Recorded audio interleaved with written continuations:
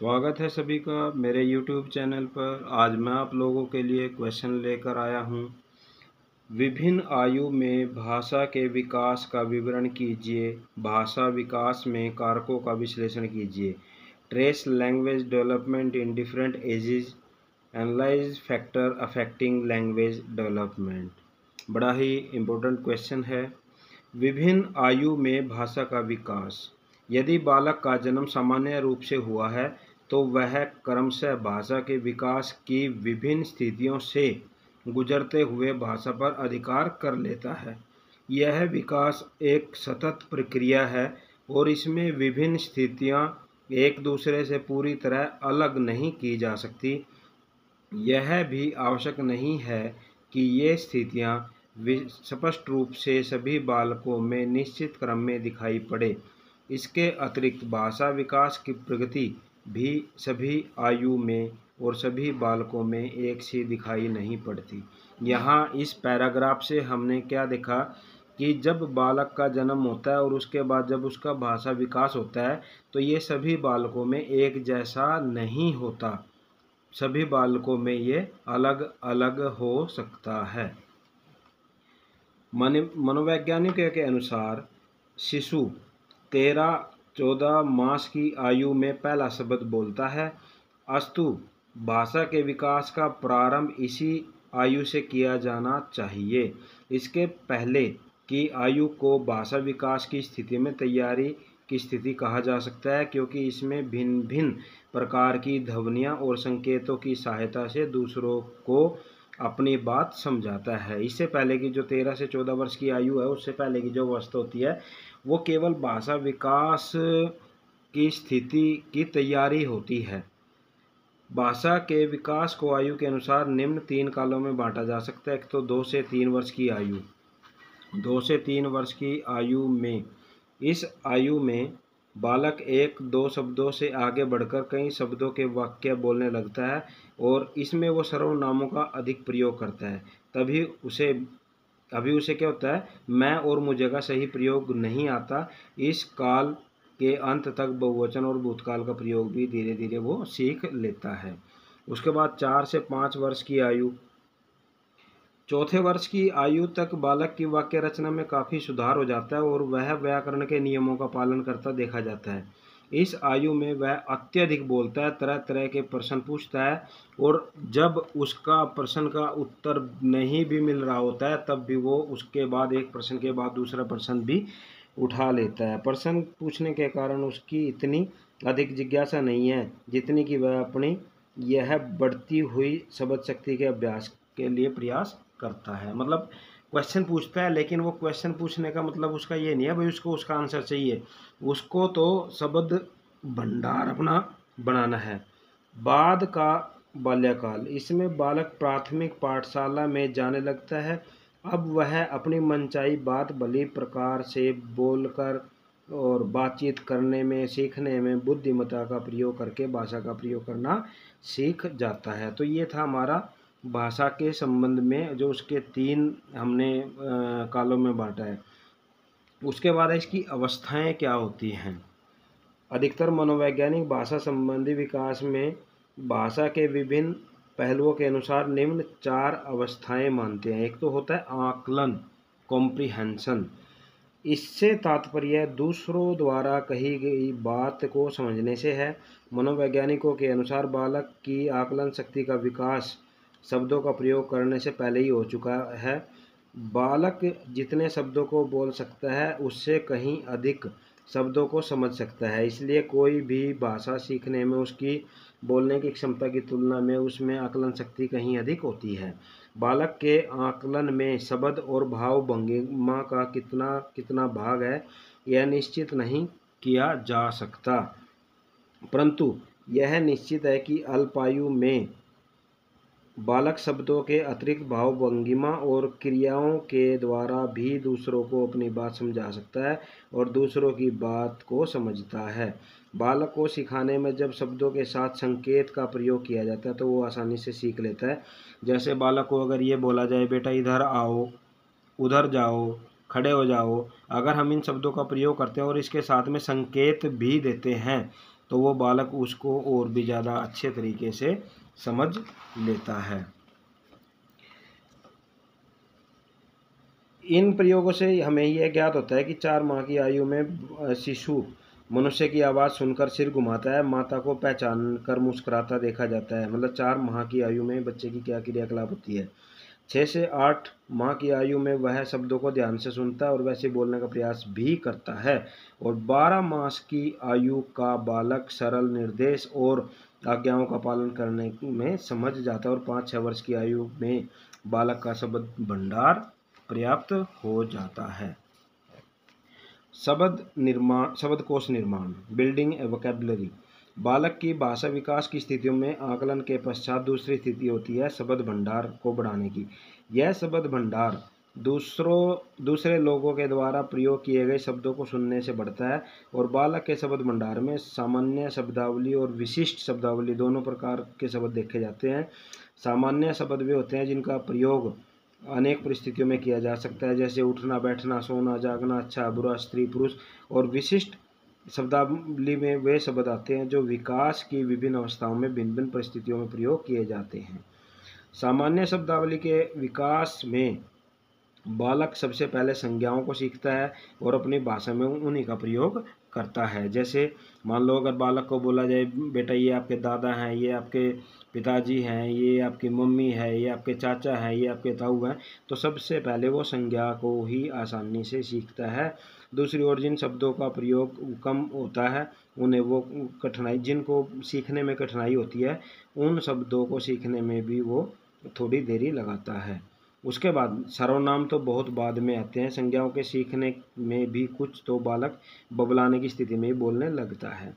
उसके बाद संज्ञा सीखने के बाद बच्चों की बारी आती है क्रियाओं को सीखने की। जैसे आना, जाना, उठना, बैठना और सत्रह माह की आयु का जो बालक होता है, फिर वो विशेषण सीख लेता है, जैसे ठंडा है, गर्म है अच्छा है, बुरा है, इस प्रकार की। उसके बाद आते हैं उसकी क्रिया विशेषण, जैसे यहाँ, वहाँ, कहाँ इत्यादि। और बाद में फिर उसका सर्वनाम आता है जब वो सीखता है। उसके बाद नेक्स्ट आ जाता है हमारा वाक्य निर्माण थर्ड जो पॉइंट है वाक्य निर्माण फॉर्मेशन ऑफ़ सेंटेंसीज लगभग डेढ़ वर्ष की आयु तक बालक केवल एक ही शब्द का बोलता है और दो वर्ष की आयु तक वह दो से अधिक शब्दों के प्रयोग और अधूरे वाक्य बनाने लगता है और चार पाँच वर्ष की आयु में वह मिश्रित वाक्य बोलने लगता है और नौ दस की वर्ष की आयु तक उसका वाक्य निर्माण की योग्यता बहुत अधिक बढ़ जाती है और वो कई वाक्यों का एक वाक्य बनाकर भी बोल सकता है। उसके बाद आ जाता है हमारा शुद्ध उच्चारण करेक्ट प्रोनाउंसिएशन हरलोक के अनुसार शिशु दूसरों की देखा देखी उच्चारण करना सीखता है और दूसरों को अगर गलत उच्चारण करते सुनकर वह भी आसानी से गलत उच्चारण ही सीख लेता है। जितनी आसानी से वह दूसरों के उच्चारण का अनुकरण करता है।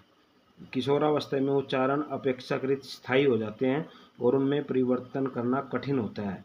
शिशु का उच्चारण 18 मास की आयु के बाद सुधरने लगता है और तीन वर्ष की आयु तक उसमें काफ़ी सुधार दिखाई पड़ता है। उसके बाद आते हैं हमारा भाषा विकास में कारक। एक तो होता है हमारा जो स्वास्थ्य है, स्वास्थ्य भी हमारा इफ़ेक्ट करता है कहीं ना कहीं। प्रारंभ के दो वर्षों में अत्यधिक बीमार पड़ने से बालक की स्थिति पर बहुत बुरा प्रभाव पड़ता है क्योंकि एक तो उसे अन्य साथियों का संपर्क नहीं मिलता और दूसरे बोलने की प्रेरणा नहीं मिलती क्योंकि उसकी आवश्यकताएँ बिना बोली ही पूरी हो जाती हैं और तीसरा उसे बोलने में मना कर दिया जाता है। तो इस बीमार व्यक्ति मतलब या बच्चा होने पर उसकी जो भाषा संबंधी विकास है वो कम हो पाता है। अनुकरण इमिटेशन बालक में बोलने की क्रिया के विकास में अनुकरण का महत्वपूर्ण स्थान है। बालक के सामाजिक परिवेश की उपस्थिति, अन्य लोग जिस प्रकार से बोलते दिखाई पड़ते हैं। बालक उन्हीं का अनुकरण करता है और अपनी भाषा का विकास करता है। उसके बाद आता है नेक्स्ट संबद्धता कंडीशनिंग बालक विभिन्न शब्दों के, का अर्थ संबद्धता कंडीशनिंग के द्वारा ग्रहण करता है। जैसे बालक को अगर उदाहरण के तौर पे बिल्ली दिखाकर और ये बोला जाए, बिल्ली आ गई, देखो। तो बालक बिल्ली शब्द को भी सीख लेता है, उसकी आकृति को भी देख लेता है और बिल्ली की पहचान भी कर लेता है कंडीशनिंग के माध्यम से। उसके बाद मोटिवेशन प्रेरणा। यदि बिना बोले ही बालक की आवश्यकताएँ पूरी हो जाती हैं तो वह बोलने का प्रयास नहीं करेगा। यदि बालक की आवश्यकताएँ रोने से और तुतलाकर बोलने से पूरी हो जाती हैं तो वह सही बोलने का प्रयास नहीं करता। बालक को बोलने के लिए प्रेरित करने वाली आवश्यकता में मुख्य है अपनी आवश्यकताओं को बताना और मन में आए हुए विचारों को प्रकट करना। उसके बाद आता है हमारी बुद्धि इंटेलिजेंस लगभग सभी मनोवैज्ञानिक यह मानते हैं कि बुद्धि के स्तर का प्रयोग बोल, बुद्धि का स्तर का बोलने की योग्यता से घनिष्ठ संबंध है। भाषा का विकास बुद्धि के स्तर के साथ चलता है और जिन बालकों का मानसिक विकास हो पाता है, उसमें केवल एक तिहाई बालकों में ही बोलने की शक्ति का सामान्य विकास हो पाता है। पाँच वर्ष के मंद बुद्धि बालक की बोलने की योग्यता डेढ़ वर्ष के शिशु के बराबर पाई जाती है। सामान्य बालक की तुलना में तीव्र बुद्धि बालक कम से कम चार महीने पहले बोलना शुरू कर देता है।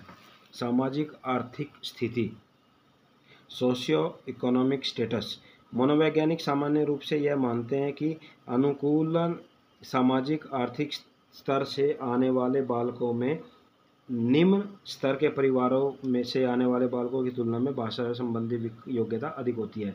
यहाँ ये बता रहा है कि जब हमारी आर्थिक स्थिति अच्छी होती है तो पेरेंट्स क्या होंगे पढ़े लिखे होते हैं और जब पेरेंट्स पढ़े लिखे होते हैं तो वो अपने बालकों के अंदर भाषा संबंधी जो विकास है, वो बड़े आसानी तरीके से कर सकते हैं। और घर के अंदर जो सुख सुविधाएँ होती है, टेलीफोन है घर के अंदर मान लो कंप्यूटर है, घर के अंदर टीवी है तो उन सबसे भी बालक की भाषा के ऊपर प्रभाव पड़ता है। उसके बाद आता है हमारा लिंग भेद सेक्स डिफरेंस भाषा संबंधी विकास में लड़के और लड़कियों की तुलना में अध्ययन से यह ज्ञात हुआ है कि जो लड़कों की तुलना में लड़कियाँ ज़्यादा जल्दी बोलना सीखती हैं और ज़्यादा स्पष्ट बोलना सीखती हैं। लेकिन शब्द भंडार भी लड़कों से कहीं ज़्यादा अधिक होता है और शब्दावली वो ज़्यादा जल्दी सीख लेती हैं। लड़कों से यह श्रेष्ठता लड़कियों में काफ़ी बड़ी आयु तक बनी रहती है और बाद में जाकर फिर लड़के अपनी उन लड़कियों से आगे निकल पाते हैं। उसके बाद आता है हमारा पारिवारिक संबंध। अनाथालयों में पले बालकों का अध्ययन करके स्पीस लुइस मैकार्थी और थॉमसन ने यह निष्कर्ष निकाला कि उनका भाषात्मक विकास सामान्य परिवारों में पले बालकों की तुलना में बहुत पिछड़ा होता है। अनाथ बच्चा अधिक रोता है और कम मात्रा में बबलाते हैं या बोलते हैं और वे देर से बोलना सीखते हैं और कम ध्वनियों का प्रयोग करते हैं। इसका मुख्य कारण यह है कि न तो उन्हें माता पिता पिता का अनुकरण करने का अवसर मिलता है और न ही उन्हें भाषात्मक विकास की ओर ध्यान दिया जाता है। उसके बाद लास्ट हमारा जो पॉइंट है आज का वो है दो भाषा सीखना। बालक के भाषात्मक विकास पर इस बात का भी प्रभाव पड़ता है कि शैशवावस्था में उसे घर में एक भाषा सीखनी पड़ती है या दो भाषाएँ सीखनी पड़ती हैं। कुछ भारतीय परिवारों में हिंदी और अंग्रेज़ी खिचड़ी बनाकर बालकों को इतना भ्रमित कर दिया जाता है कि वो दोनों में से किसी का भी सही उच्चारण नहीं कर पाता और न ही किसी का शब्द भंडार उसका बढ़ पाता है। इस दृष्टि से वह अधिक अच्छा है कि बालक को मातृभाषा बोलने के लिए प्रोत्साहित किया जाए और उससे वही बोली जाए तथा उसी का अभ्यास कराया जाए। शिशु पर दो भाषाएँ सिखाने का बोझ, लाभ देने से उसके बोलने, सीखने में बाधा होने होने की संभावना बनी रहती है, क्योंकि वह देखता है कि एक ही बात के लिए दो दो शब्दों का प्रयोग किया जा रहा है और मनोवैज्ञानिक हरलोक के अनुसार दो भाषाएँ सीखने से केवल भाषात्मक विकास में ही नहीं, बल्कि बालक का जो चिंतन स्तर होता है, उस पर भी पूरा प्रभाव पड़ता है। क्योंकि उसे यह निश्चित नहीं हो पाता कि किस अवसर पर कौन सा शब्द बोलना उपयुक्त है। दो भाषाएँ सीखने से बालक को एक ही वस्तु या कार्य के लिए दो शब्द सीखने पड़ते हैं। तो यहाँ भी बच्चे की जो भाषात्मक विकास संबंधी है, वहाँ भी प्रभाव पड़ता है। तो ये आज का हमारा क्वेश्चन था। आशा है आपको ये क्वेश्चन समझ में आया होगा। अगर क्वेश्चन समझ में आ गया है तो कमेंट बॉक्स के अंदर लिख कर बताना और चैनल को अगर सब्सक्राइब नहीं किया है तो चैनल को सब्सक्राइब कर लेना और जो बेल वाला बटन है, उस पर ऑल पे कर देना, ताकि जो मेरी नोटिफिकेशन है, वो आपको मिलती रहे। Thank you